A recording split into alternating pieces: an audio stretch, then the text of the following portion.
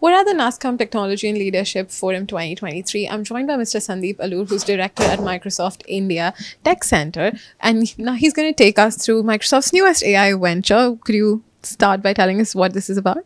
Yeah, first of all, thanks. Thanks for this question. So now I'm going to show uh, an evidence of a copilot, right? So AI has come a long way. Now we're looking at how do we elevate developers' productivity. So we have a uh, innovation called GitHub Copilot, and what you're to see is a copilot for a dev- I'm a developer. I need to write some program. So how will this copilot help me write better code? Yeah. So let me just switch to uh, my UI here.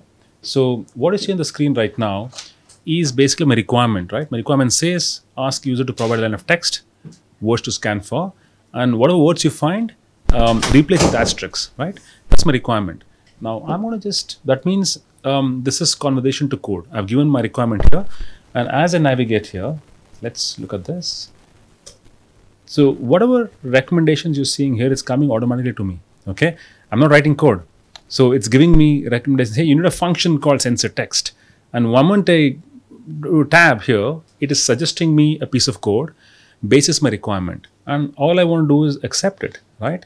And at times I also want to see, hey, while you're asking me, while you're recommending me something, I also want to probably see if there are other alternate options available based on my coding style. So it's going to generate multiple variety of a solution for the same problem.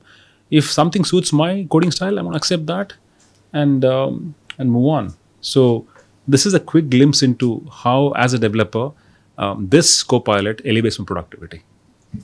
So this is purely for elevating productivity. Will there should we be worried? Should the developers in this country be worried about their jobs after this? This is pure innovation which elevates, makes me better. So in fact, I'm I'm more relevant now because I use the Copilot to build applications. So yeah.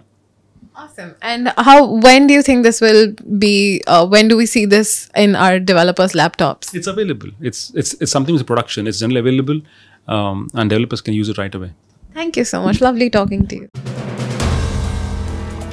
If you like the video, do like, comment, share and subscribe.